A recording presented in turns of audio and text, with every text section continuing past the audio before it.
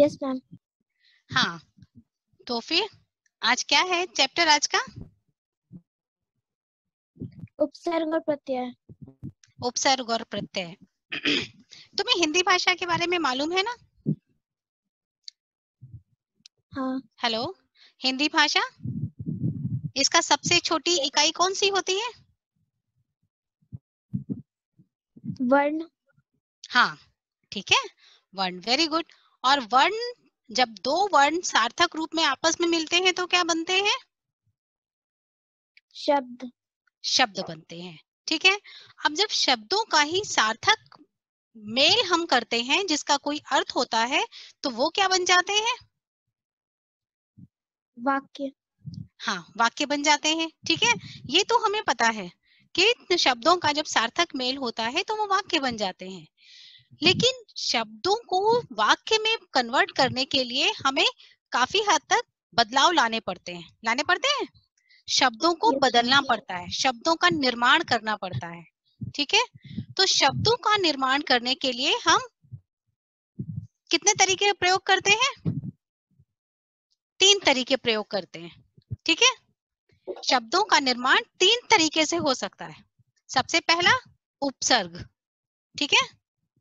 दूसरा प्रत्यय ठीक है? और तीसरा समास। ओके?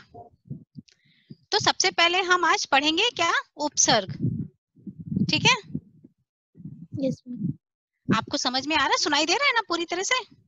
यस मैम हाँ ठीक है। उपसर्ग उपसर्ग क्या होते हैं? उपसर्ग वे जो- शब्दांश होते हैं। हाँ बोलो। जो शब्द अ, किसी अ, वो शब्दांश जो किसी शब्द के आगे जुड़कर नए शब्द का निर्माण करे उन्हें उपसर्ग कहते हैं। वेरी गुड वे शब्द वे शब्दांश जो किसी शब्द के आगे जुड़कर नए शब्द का निर्माण करते हैं उसे उपसर्ग कहते हैं। सर कहते हैं। अब हाँ ठीक है। अब हिंदी में हम कितने तरह के उपसर्गों का प्रयोग करते हैं? तीन तरह के उपसर्गों का प्रयोग करते हैं हिंदी में। ठीक है? एक हिंदी के उपसर्ग हम्म। होते हैं। हिंदी के उपसर्ग वे उपसर्ग होते हैं जो हिंदी भाषा में के शब्दों में ही लगते हैं ठीक है? हिंदी शब्दों में ही प्रयोग किए जाते हैं और दूसरे होते हैं तत्सम। कौन से? संस्कृत उपसर्ग। ठीक है? जो संस्कृत उपसर्ग वे होते हैं जो तत्सम शब्दों के आगे लगते हैं। तत्सम शब्द समझते हैं आप? संस्कृत के शब्द। संस्कृत के शब्दों को तत्सम शब्द कहते हैं ठीक है? तो संस्कृत के उपसर्ग संस्कृत के शब्दों के आगे लग के उनका क्या करते हैं? निर्माण। नया रूप नया निर्माण करते हैं नया रूप बनाते हैं ठीक है? और तीसरा उपसर्ग है जो बाहर से जो शब्द आते हैं जो बाहर के शब्दांश होते हैं कौन से? विदेशी शब्द होते हैं? आगत शब्द। आगत। उन्हें आगत कहते हैं। हम विद- मतलब विदेशी भाषा से जो हम शब्दांशों को लेते हैं उन्हें हम आगत कहते हैं ठीक है? तो वे शब्दांश जो विदेशी भाषा के होते हैं आगत शब्दांश वे आगत शब्दों में जुड़कर नए शब्दों का निर्माण करते हैं। ठीक है? यस मैम चलिए कुछ हम लोग उपसर्ग देख लेते हैं सबसे पहले। तत्सम उपसर्ग हम सबसे पहले देख लेते हैं ठीक है? हेलो? मैम यस मैम हाँ ठीक है। पहला उपसर्ग हम देख लेते हैं अति। अति। अति का अर्थ क्या होता है? ज़्यादा। बहुत। बहुत। ठीक है। अब उसमें हम अंत के साथ अति जोड़ते हैं तो क्या बन जाता? है अत्यंत। क्या बन जाता है? अत्यंत। अत्यंत बन जाता है। अब अति को हम आचार के साथ जोड़ते हैं तो क्या बन जाता है? अत्याचार? अत्याचार। हाँ अति को हम अति उपसर्ग को आचार के साथ आचार का मतलब हो गया व्यवहार। ठीक है? मैम जब व्यवहार की अतिशय हो जाती है तो वो अत्याचार हो जाता है। क्लियर इसी तरह से एक और उपसर्ग देख लेते हैं अधि अधि ठीक है? मैम अब अधि को हम वक्ता के साथ जोड़ेंगे तो क्या बन जाएगा? अधिवक्ता। हाँ वेरी गुड अब कार कार के साथ जोड़ेंगे तो क्या बनेगा? अधिकार। नायक के साथ जोड़ेंगे तो अधिनायक? अधिनायक। हाँ ठीक है ना? इसके बाद है अनु। ठीक है? अनु का अर्थ होता है पीछे। ठीक है? अब हम भूति के साथ जोड़ेंगे तो क्या बन जाएगा? अनुभूति। ठीक है. करण के साथ जोड़ेंगे तो अनुकरण ठीक है? और गामी के साथ जोड़ेंगे तो अनुगामी बन जाएगा। यस मैम ठीक है? इसके अलावा और हम लोग देखते हैं। तुम्हारे पास बुक है ना? उसमें तो ये सारे होंगे? यस नी नी उपसर्ग। बंद के साथ जोड़ेंगे तो क्या बनेगा? निबंध। निबंध। निबंध बन जाएगा। ठीक है? अब पात के साथ जोड़ेंगे तो निपात बन जाएगा। रूपण के साथ जोड़ेंगे तो निरूपण हो जाएगा। निरूपण। हाँ निरूपण हो जाएगा। अब एक और है शब्द उपसर्ग प्र। ठीक है? योग के साथ जोड़ेंगे तो प्रयोग। उपरा। क्या बने? प्रयोग। प्रयोग बन गया ठीक है? कार के साथ जोड़ेंगे तो? प्रकार। प्रकार बन गया। गति के साथ जोड़ेंगे तो? प्रगति बन जाएगा। प्रगति। हाँ क्रिया के साथ जोड़ेंगे तो? प्रक- प्रक- प्रक्रिया। प्रक्रिया बन जाएगा ठीक है? हार के साथ जोड़ेंगे तो? प्रहार बन जाएगा ठीक है? तो ये कुछ ऐसे तत्सम उपसर्ग हैं सॉरी जो संस्कृत शब्दों के साथ ही लगते हैं ठीक है? इसके अलावा कुछ और ऐसे भी शब्दांश होते हैं जो हम संस्कृत के ही शब्द होते हैं वो। शब्दांश ना होकर संस्कृत के पूरे पूरे शब्द होते हैं लेकिन हम उनको तत्सम शब्दों के साथ प्रयोग करते हैं। जैसे सु ठीक है? सु मतलब अच्छा। पुत्र के साथ जोड़ देंगे तो क्या हो जाएगा? सुपुत्र। और कन्या के साथ जोड़ देंगे तो क्या हो जाएगा? सुकन्या।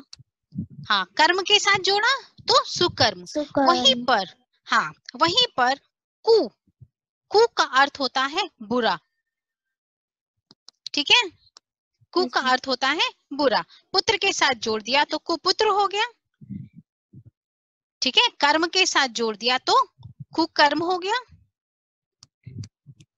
यस मैम क्लियर इसके अलावा और क्या हो जाता है? पुरा। पुरा का अर्थ क्या होता है? पुराना। ठीक है? अब तन के साथ इसको जोड़ देंगे तो क्या बनेगा? पुरातन। पुरातन। हाँ। वृत्त के साथ जोड़ दिया तो पूरा वृत्त हो जाएगा और तत्व के साथ जोड़ देंगे तो पूरा तत्व हो जाएगा।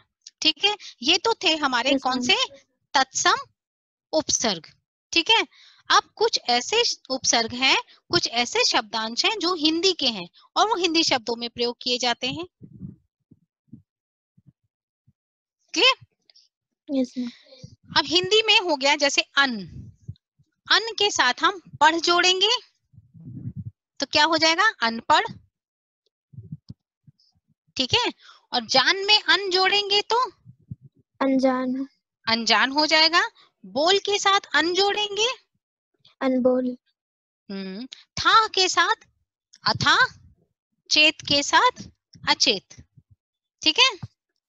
यस मैम अब उन। उन हो गया उपसर्ग। उन को तो हमेशा हम प्रयोग करते हैं हिंदी की गिनती में। जब गिनती करते ना? यस मैम उनसठ उनचास उनतीस उनका मतलब होता है एक कम।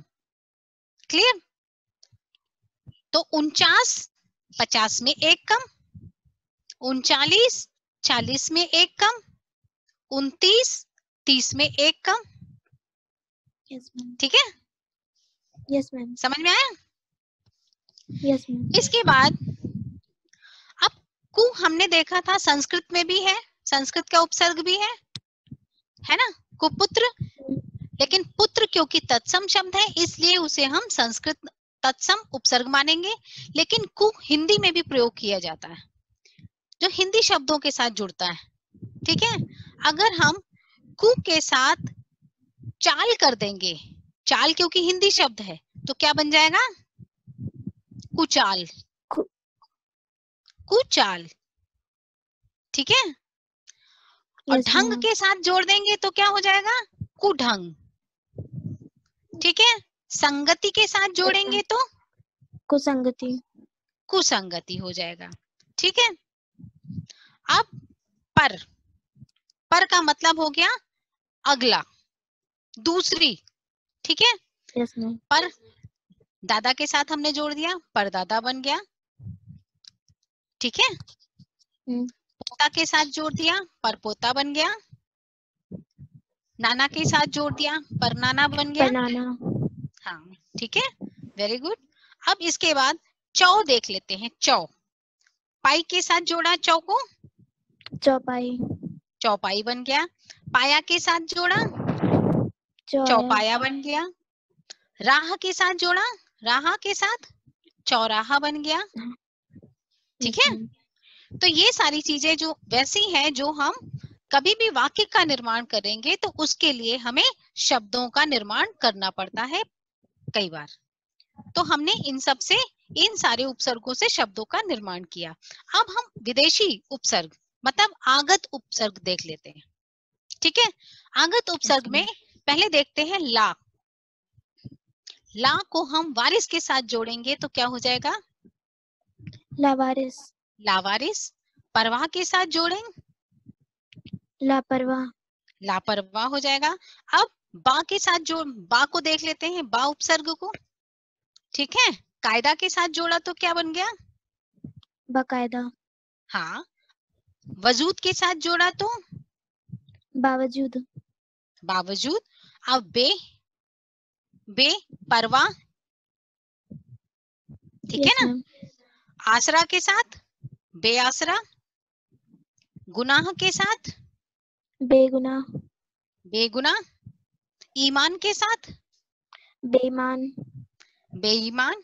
ठीक है अब बद को देख लेते हैं। बद उपसर्ग? नाम? बे बदनाम।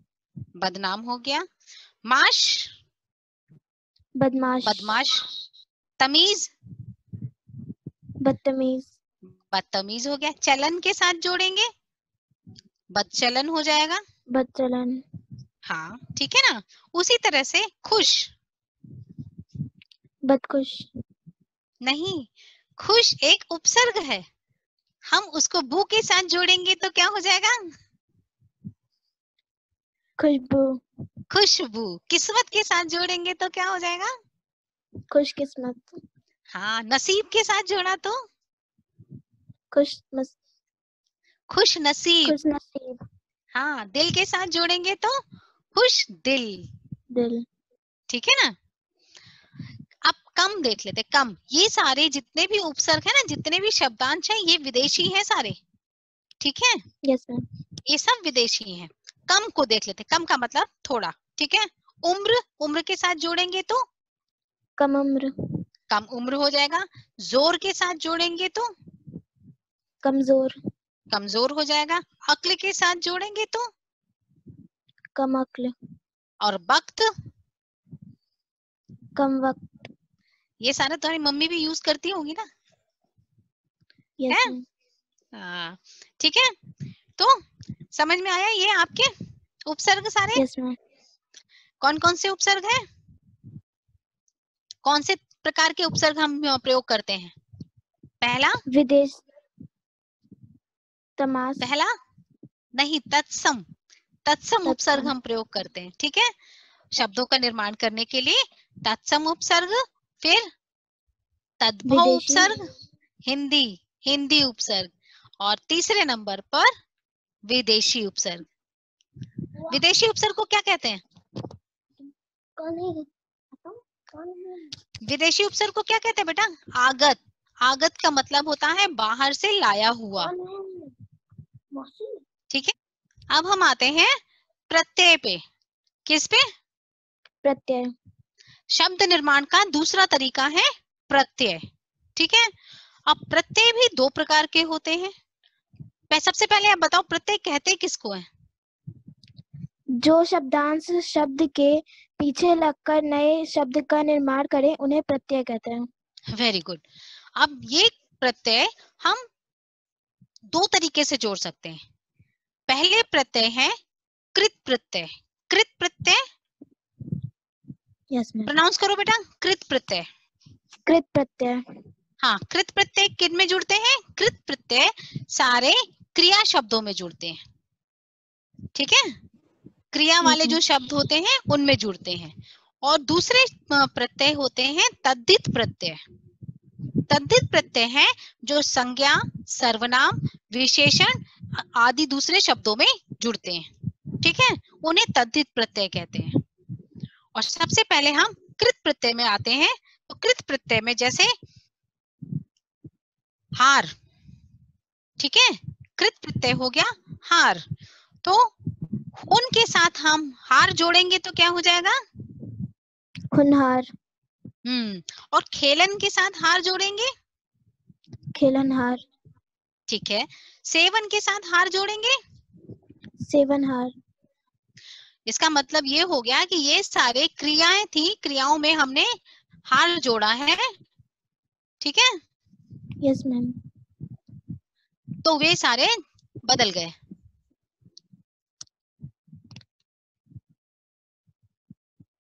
ठीक है? इसके अलावा दूसरा है अय्या। अय्या शब्द ठीक है ना? अय्या तद ठीक है? तो अय्या को हम ग के साथ गाने वाला जो होता है ना ग के साथ अगर हम जोड़ेंगे तो क्या हो जाएगा? गवैया गवैया खी के साथ हम जोड़ेंगे तो क्या हो जाएगा? खीवैया ठीक है? मैम फिर है अक्कड़। अक्कड़। पियक्कड़ ठीक है? यस मैम भूल के साथ अक्कड़ जोड़ा तो? भूलक्कड़ भूलक्कड़ वेरी गुड घूम के साथ अक्कड़ जोड़ा तो? घुमक्कड़ वेरी गुड खा के साथ हम अगर ऊ प्रत्यय जोड़ते हैं तो क्या बन जाता है? खाऊ। जो लोग बहुत खाना खाते हैं ना? यस मैम है ना? और उड़ उड़ाऊ के साथ उड़ा के साथ हम ऊ जोड़ेंगे तो उड़ाऊ हो जाएगा। हाँ ठीक है? इसके बाद दार। दार प्रत्यय अगर लेन के साथ जोड़ेंगे तो क्या हो जाएगा? लेनदार। लेनदार। इसके बाद आक आक प्रत्यय। तय के साथ हम जोड़ेंगे तो क्या हो जाएगा? तैरना होता है ना तैर। तैर हो गया धातु। तैर के साथ हमने आक जोड़ा तो क्या बन गया? तैराक।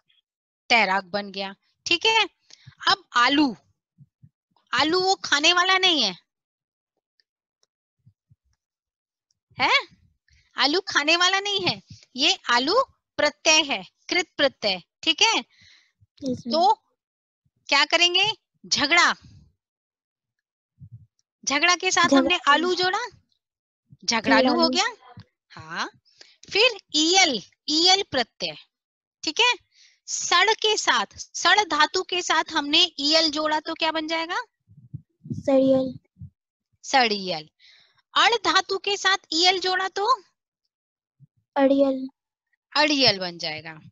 तो ये सारे क्या थे हमारे